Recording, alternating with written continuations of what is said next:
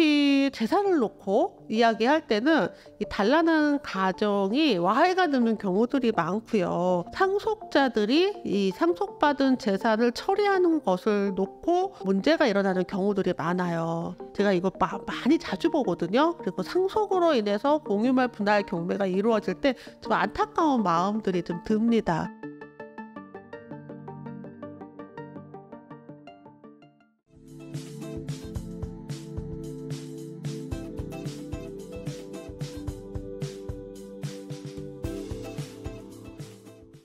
권리금 특별한 게 있다면 무엇이 있을까요?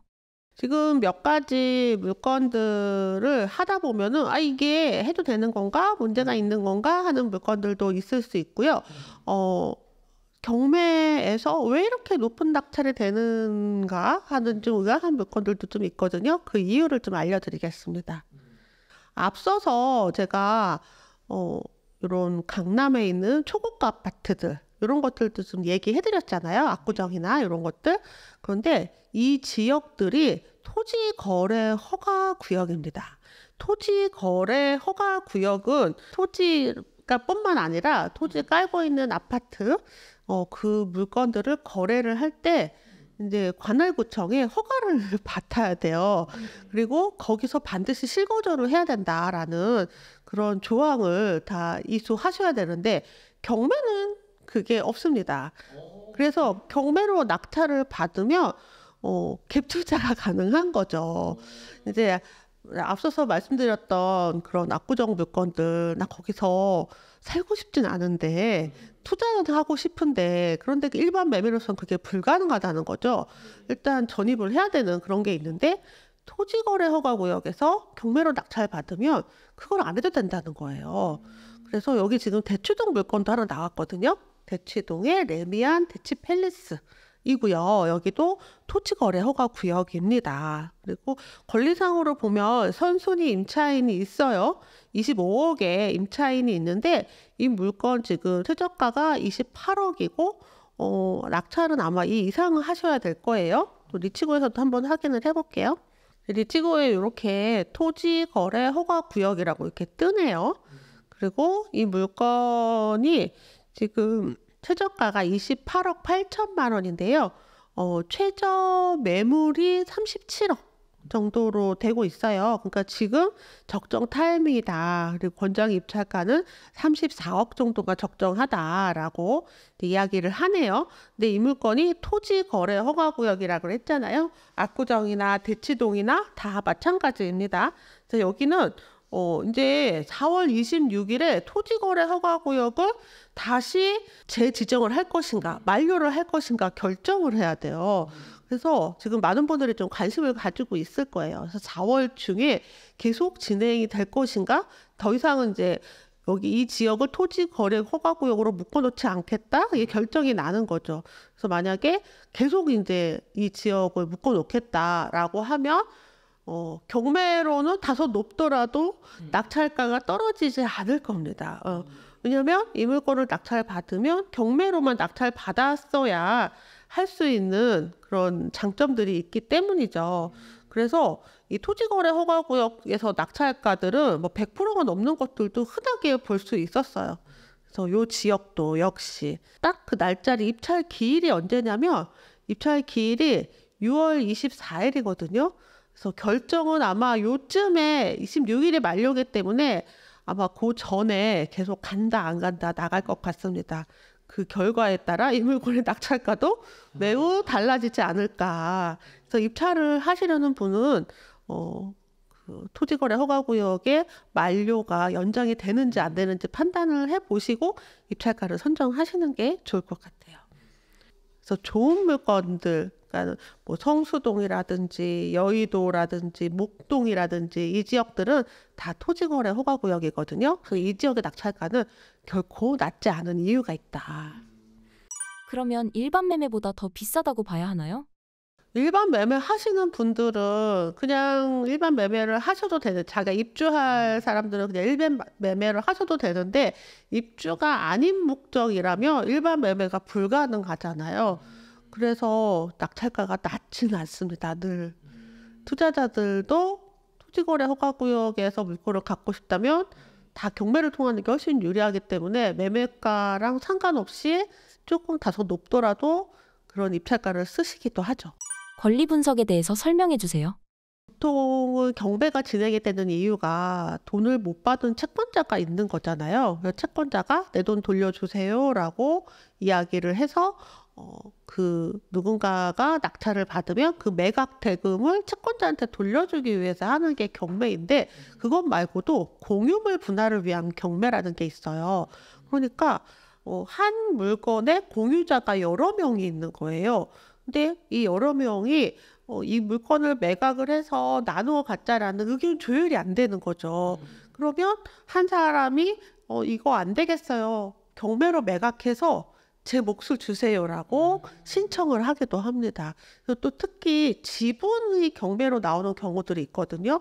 많은 경우는 이제 어르신이 돌아가시고 자녀들이 이렇게 상속을 받았는데 그 중에 한 자녀가 뭐 압류가 걸려서 그 한 자녀의 지분을 누군가 낙찰을 받으면 남모르는 사람하고 같이 공유를 하게 되잖아요. 근데 이 지분으로 받은 사람들이 결국은 어, 다른 지분 공유자들하고 협의를 하다가 안 되면 공유물 분할 경매를 하기도 합니다. 그래서 공유물 분할을 위한 경매는 채권자가 없다는 게 특이 사항이에요. 물론 이제 채권자가 다른 이유로 있겠죠. 근데 경매를 채권자가 넣지 않았다는 거죠.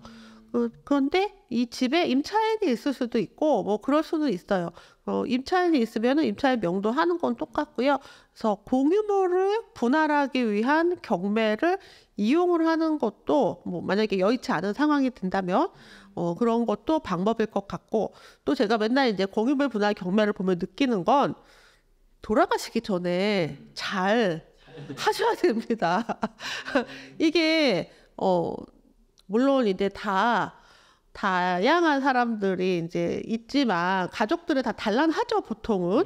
근데 이제 특히 재산을 놓고 이야기할 때는 이 단란한 가정이 와해가 되는 경우들이 많고요. 그래서 상속자들이 이 상속받은 재산을 처리하는 것을 놓고 어, 문제가 일어나는 경우들이 많아요. 그래서 제가 이거 마, 많이 자주 보거든요. 그리고 상속으로 인해서 공유말 분할 경매가 이루어질 때 좀 안타까운 마음들이 좀 듭니다.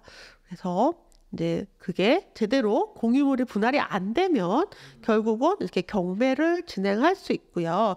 그래서 지금 이 집에서는 이 집에서는 어, 부부가 이혼을 하셨군요. 네, 부부였네요. 그래서 남편과 아내가 지분을 절반씩 가지고 있었는데요. 경매를 신청한 사람은 아내예요. 그래서 남편과 같이, 같이 지분을 갖고 있었기 때문에 이 집을 매각을 해서 내 몫을 달라라고 해서 공유물 분할을 신청을 한 내용입니다. 그래서 채권자가 경매를 신청한 게 아니라 소유자 중 한 명이 경매를 신청을 해서 이렇게 공유물 분할을 위한 경매가 이루어졌죠. 그래서 공유물 분할은 어, 원래 공유자였던 사람들이 대부분 다 가족인데요. 끝이 조금 안 좋았을 때 이렇게 가는 경우들이 있습니다. 낙찰을 받는 건 아무 문제가 없어요. 네. 다만 이 집에 누가 사는지는 확인을 해야 되겠죠. 만약에 남편이 살고 있으면 남편을 명도를 해야 될 거고요. 아내가 살고 있으면 좀 쉽게 나가지 않을까. 남편은 뭐 쉽게 안 나갈 수도 있지 않을까요? 그러니까 누가 살고 있는지 이 이들의 이해 관계에 따라서 명도의 난이도가 좀 달라질 겁니다. 자, 이번에는 어, 평택에 있는 평택 센트럴자의 3단지 물건인데요. 여기에는 점유자가 조금 특별한 사람이 살고 있어요. 자, 점유자가 누군지 한번 볼까요? 김땡땡이라고 있는데요. 전입이 2000년 2월 13일 매각 물건 명세서를 좀 확인해 보겠습니다. 자, 김땡땡님은요. 채무자면서 소유자인 조땡땡님과 동일 세대에 거주함. 동일 세대, 같은 세대라는 거잖아요. 가족이겠죠. 가족인데 왜 이렇게 이름이 올라 있냐. 전입세대 열람을 했더니 이 사람이 이름이 있, 있었어요. 그래서 그게 누군지 몰랐는데 보니까 이제 집주인과 같은 세대에 거주하고 있다라는 거죠. 대부분의 경우는 이거 안 써주는 게 좋거든요. 근데 써주면 우리가 헷갈립니다. 이 사람이 가족, 가족인가 아닌가. 근데 지금은 동일 세대에 거주한다는 건 가족으로 봐도 괜찮지 않나. 그런데 이게 과연 가족이 아닐 가능성은 없나 이런 것도 서류상으로 조금 확인을 해봐야 되는데요. 이럴 때 아, 이럴 때 등기부등본을 좀 확인을 해볼게요. 등기부등본을 봤더니 아 이게 지금 보니까 현재 조땡땡님이 소유권자고요. 재산 분할을 받았습니다. 그 재산 분할을 누구한테 받았냐면 지금 현재 점유자인 김땡땡님한테 받은 거예요. 그러니까 가족이 맞죠? 네, 가족이 맞아요. 근데 주소가 계속 김땡땡님은 이 자리에 계속 머물러 있는 상태이고요. 전 소유자죠. 지금 소유자보다 전 소유자. 전 소유자의 주소가 여기 계속 있다. 라는 상태인 거예요. 그래서 이럴 때 근저당이 잡혀 있는지를 좀 봐야 됩니다. 만약에 전 소유자가 지금 현재 임차인 될 수도 있을까요? 전 소유자가 지금 현재 임차인이 될 수도 있습니다. 만약에 전 소유자가 지금 현재 임차인이 됐다면은 임대차 계약서를 작성을 하고 뭐 실제 그런 경우 있잖아요. 전 소유자가 어, 집은 파는데 이사는 안 하는 거예요. 전세로 거주한다라는 계약서를 작성을 하고 전세 보증금을 내고 거주하는 경우가 있어요. 그러면 이 전 소유자가 전세 계약서를 쓰고 거주하면 임차인인가요? 전입한, 전입은 훨씬 더 전에 있겠죠. 그 날짜가 아니라 매각한 날, 소유권 이전되는 날부터 이 사람은 임차인이 되고 대항력은 다음 날 생기겠죠. 그래서 전 소유자도 임차인이 될 수는 있지만 전입으로 대항력을 따지지는 않는다. 그리고 여기에 있는 이 임차인은 전 소유자이면서 또 현재 가족인 것도 있고 해서 어, 대항력은 없을 가능성이 매우 높습니다. 없다. 그리고 여기 또 하나는 근저당이 어, 아직도 살아 있어요. 근저당이 거의 이제 집 가격에 거의 가득. 집 가격이 지금 4억 6천 정도 감정가 그 정도 하는데요. 당시에 그보다 조금 더 낮았을 텐데 거의 이제 가득 근저당이 잡혀져 있다. 그러면 만약에 이 사람이 가족도 아니고 뭐 임차인도 아니고 뭐 이런 상태에서 주소를 놔둔 상태에서 근저당이 나올 수가 없거든요. 은행은 대출을 안 해주거든요.